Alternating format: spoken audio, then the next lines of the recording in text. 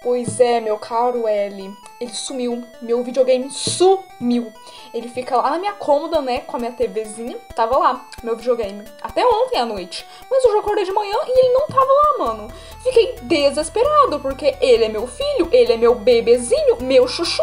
Tipo, eu não posso viver sem ele, cara. Videogame é o meu hobby, é o que eu mais gosto de fazer na vida. Uma das coisas que eu mais gosto, né? Além de ele ter custado um rim, ele desapareceu assim do nada.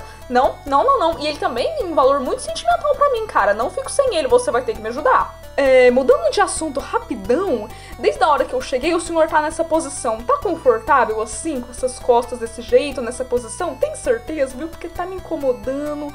Ai, sério. Ai, cara, como você consegue sentar assim o tempo inteiro, hein? Ai, nossa. Deve ser coisa de detetive, né? Os detetives sentam assim. Hum, achei chique, mas não gostaria, não iria sentar assim nunca. E olha aqui, desde a hora que eu cheguei no seu estabelecimento, eu vi o senhor comendo um montão de doces e uns sete pedaços de bolo. Não me ofereceu nenhum. E olha aqui, muito doce faz mal pra saúde, viu? Nossa, mano, sério, você comeu demais, cara. Como você dá conta?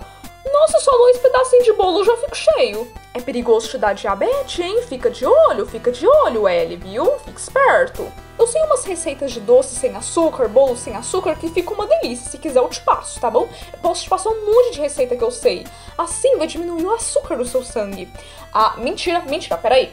Eu só te passo as receitas se o senhor me ajudar a encontrar o meu videogame.